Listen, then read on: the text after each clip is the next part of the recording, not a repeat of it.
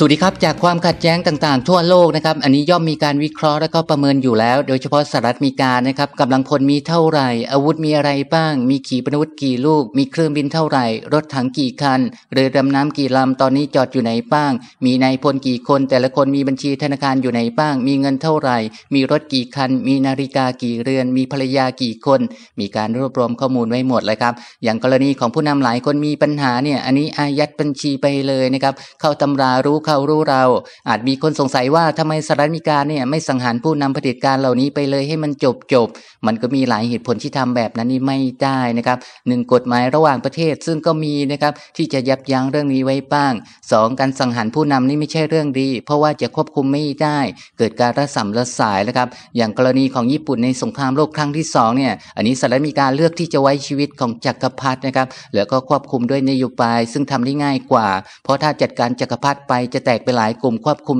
ยาก อันนี้ยกเว้นกรณีที่ควบคุมสถานการณ์ได้แล้วนะครับ อันนี้จัดการผู้นำได้เลย เช่นลาเดนนี่เป็นต้น ในกรณีของประเทศเล็ก ๆ อยู่ในสายตาตลอดนะครับ ว่ามีศักยภาพแค่ไหนอะไรอย่างไรที่ไหนบ้าง ส่วนประเทศใหญ่ๆนอกจากหน่วยข่าวครองแล้วก็สายลับแล้วนะครับ ดาวเทียมสอดแนมก็ส่องตลอดเวลา รู้พิกัดรู้ศักยภาพ แล้วก็สร้างอาวุธไว้รอจัดการเสมอ และปริมาณนี้ต้องเพียงพอด้วยนะครับ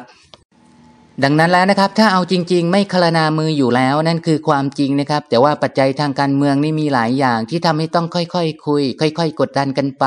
ในกรณีของทะเลจีนใต้ ซึ่งแน่นอนว่าคู่กรณีคือประเทศใหญ่อย่างจีน การจำกัดขอบเขต หากเกิดการประทะกันเป็นเรื่องต้องพิจารณานะครับ เป้าหมายคือทางการทหารเท่านั้น จะเอาระเบิดร้ายแรงในไปทิ้งใส่ชาวบ้าน เพื่อให้ผู้นำยอมแพ้เหมือนกับญี่ปุ่นนี่ไม่ได้นะครับ เพราะว่าประชากรจีนนี่เยอะเสียหายเยอะแน่นอน แล้วก็ไม่มีใครยอมรับเรื่องนี้ได้นะครับแนวโน้มหากเกิดการพะทะกันกับจีน สมรภูมิก็คือทางทะเลนั่นแหละครับ กลุ่มเสี่ยงก็จะเป็นกองเรือ ทั้งเรือผิวน้ำเรือดำน้ำเรือพิฆาต เรือลาดตะเวน อันนี้รวมถึงปะการัง หินโซโคกหอยเม่นปิงทะเล อาจจะรวมถึงนางเงือกด้วยนะครับ อันนี้คือผู้ที่จะได้รับผลกระทบอย่างหลีกเลี่ยงไม่ได้ ส่วนพญานาคอยู่แม่น้ำโขงรอดตัวไป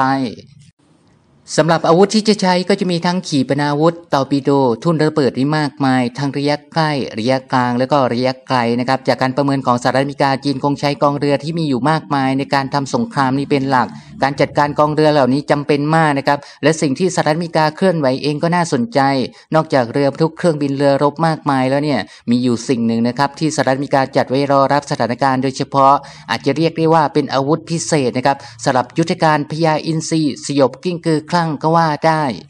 มีข่าวว่า Lockheed Martin นะครับได้สัญญาจากกองทัพเรือและก็กองทัพอากาศของสหรัฐอเมริกา ให้ผลิตขีปนาวุธต่อต้านเรือระยะไกลนะครับหรือว่า LRASM ก็มาจาก Long Range Anti-Ship Missile ซึ่งสัญญาการผลิตนี้เป็นโครงการครั้งประวัติศาสตร์เลยทีเดียวนะครับมีมูลค่าถึง 414 ล้านดอลลาร์สหรัฐอเมริกา หรือว่าประมาณ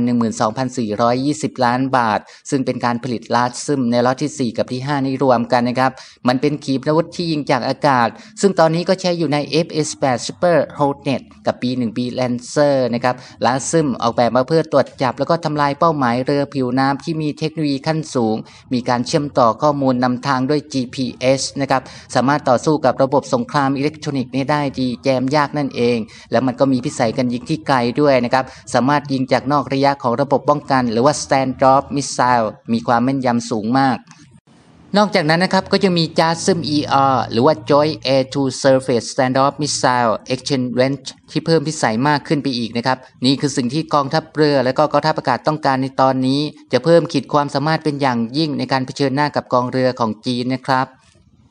ลาซึมหรือว่า AGM 158C นะครับลาซึมก็มาจาก Long Range Anti-Ship Missile AGM มาจาก Air to Ground Missile มันเป็นขีปนาวุธอากาศสู่พื้นแบบล่องหนหรือว่า Stealth นะครับ มีน้ำหนัก 1,100 กิโลกรัม มีความเร็วสูงสุดอยู่ที่ High Subsonic นะครับ หรือว่าไม่เกิน 1,225 กิโลเมตรต่อชั่วโมง มีพิสัยการยิงอยู่ที่